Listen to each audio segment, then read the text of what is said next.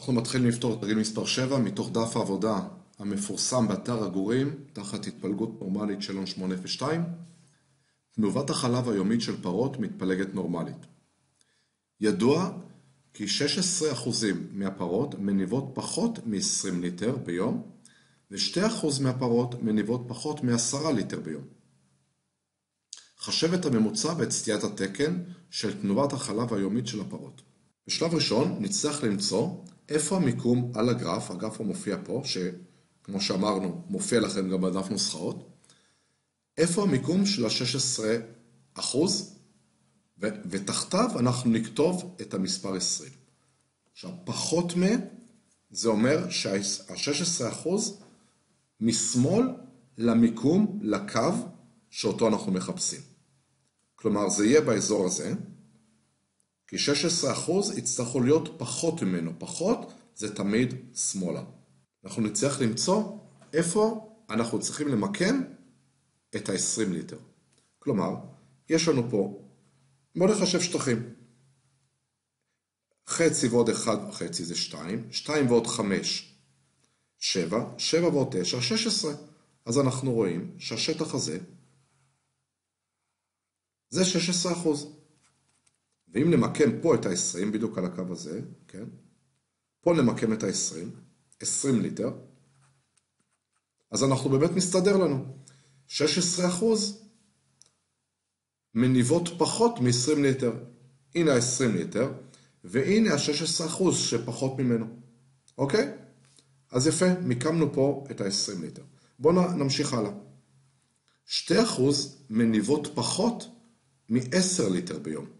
שתי אחוז זה פה, אחד וחצי ועוד חצי, זה בדיוק יושב פה, נכון? יש לנו פה שתי אחוז, כלומר, מפה לפה זה שתי אחוז, אז פה נמקם את העשרה ליטר. זהו, עכשיו מה שנותר לנו לעשות זה לעשות משוואה עם שתי נעלמים. פה יש לנו ממוצע פחות סטיית תקן, פה יש לנו ממוצע פחות שתי סטיות תקן. בואו נבנה את המשוואה. נתחיל עם העשרה ליטר, שווה עשר, ו-x מינוס s שווה עשרים. אלה המשוואות. נחסיר ביניהם, כי יש לנו פה x ופה x, אז נחסיר וה-x יתבטל. אז מינוס 2s מינוס מינוס s שווה 10 פחות 20. אני פשוט החסרתי את המשוואה השנייה פחות הראשונה. x פחות x זה 0, אז בגלל זה רשמתי. מינוס 2s מינוס מינוס s שווה 20 פחות 10. 10 פחות 20. עכשיו, מינוס 2s, מינוס מינוס זה פלוס. זה פלוס s, שווה 10 פחות 20 מינוס 10. אז פה יש לנו מינוס s שווה מינוס 10, כן?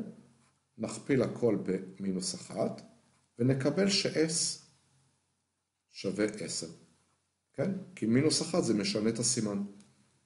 זאת אומרת, סטיית התקן היא 10. ועכשיו, כדי למצוא את הממוצע, נציב את זה במשוואה. למשל, במשוואה הזו, זה לא משנה באיזה משוואה, יצא לנו אותו דבר.